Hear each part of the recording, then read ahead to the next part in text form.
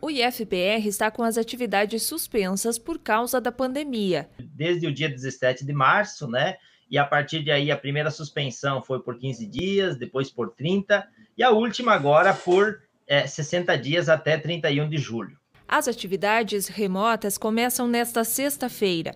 De acordo com o diretor-geral do campus, Roberto Bianchi, todas elas foram desenvolvidas pelos professores. Claro, a parte teórica. Só serão ofertados aqueles conteúdos e aqueles componentes que tenham condições de serem ofertados, principalmente os mais teóricos, aqueles é, estágios, principalmente, ou é, é, componentes, conteúdos que precisem de laboratórios ou precisem do acompanhamento presencial dos professores não serão ofertados neste momento. Não serão prejudicados aqueles estudantes que não conseguirem acompanhar as atividades por indisponibilidade de internet ou outras questões. No retorno né, a essa presencialidade, que em princípio ela vai se dar, num primeiro momento, de 25% presencial e 75% remoto, né, até a gente alcançar o 100% da, da presencialidade, é, esses alunos terão disponível pelas mesmas plataformas os mesmos conteúdos, né,